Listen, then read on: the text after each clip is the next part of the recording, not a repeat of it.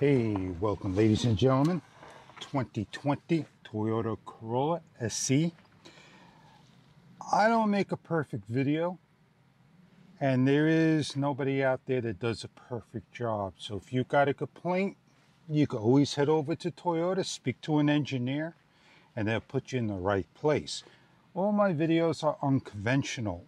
They are there to help you out as well as others. This is a talk and this is what I'm experiencing as well and I'm sharing to you. When we start our car,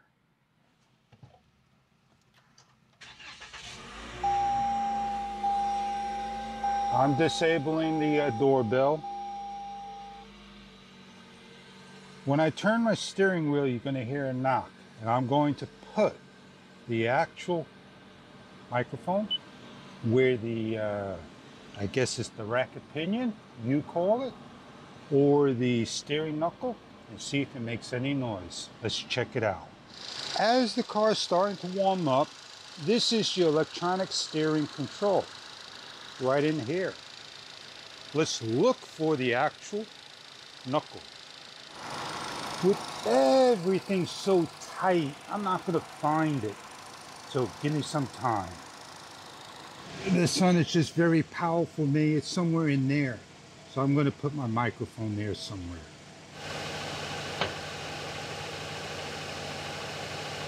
Once again, I got my uh, microphone right here in front of me.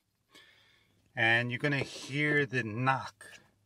I'm not sure if you're going to hear it because it doesn't happen all the time.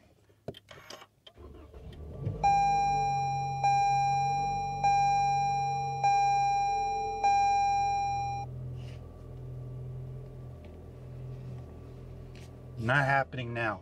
But you'll hear that boom, like that. And you'll feel it in the car. When you're in drive.